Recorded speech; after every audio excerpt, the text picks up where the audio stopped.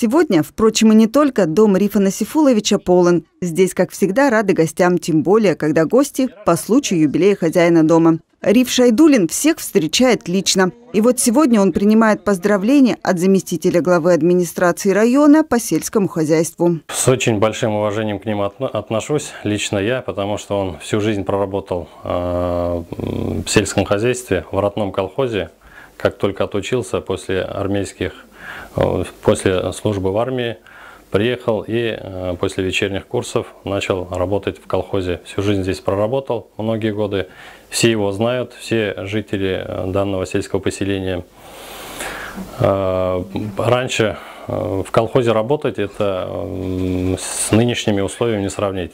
Там более жесткие условия были, работы обеспечены были многие работники, не было сезонности.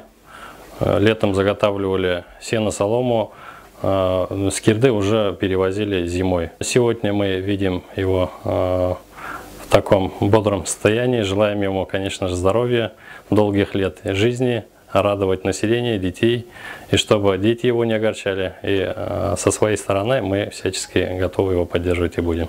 И это действительно так, несмотря на почтенный возраст. Риф Насифулович продолжает вести активный образ жизни. Ни минуты не сидит на месте, следит за своим большим хозяйством и продолжает водить автомобиль. Такой характер трудовика у него выработался с детства. Деревенские ребятишки с малых лет привлекались к работе в колхозах. Было у простого деревенского парнишки Рифа желание уехать из родной деревни и покорять города. Возможно, но сделать это было очень сложно. Ну, я тут, а, я, я жил тут, пришлось, никуда выехать не смог. Не было паспорта. В молодости не выдавали, а без паспорта никуда. Так и жили с малых лет, так и живем. Возможностей было много уехать.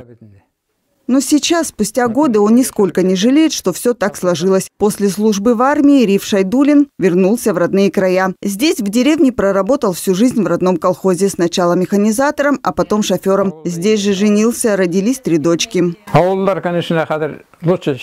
В деревне сейчас лучше, чем раньше, только рабочих не хватает на производстве, потому что не платят. Многие обратно приезжают в колхоз. Сначала я работал трактористом после армии 10 лет. Потом окончил курс водителя 7-месячный в Нефтекамской автошколе. И по сей день езжу на машине. К сожалению, в 2012 году Рифу Шайдулину пришлось пережить тяжелую утрату. Не стало его любимой супруги Мавзиды. Но дети и внуки, а их у Рифа Шайдулина сегодня пять, всегда рядом. Хотя многие живут уже давно отдельно, но очень любят собираться все вместе за большим столом, обсудить успехи друг друга и просто поболтать. И о чем человек, окруженный любовью и заботой детей и внуков, может еще мечтать. Не болеть и жить надо еще до, 100, до столетия. Я так думаю.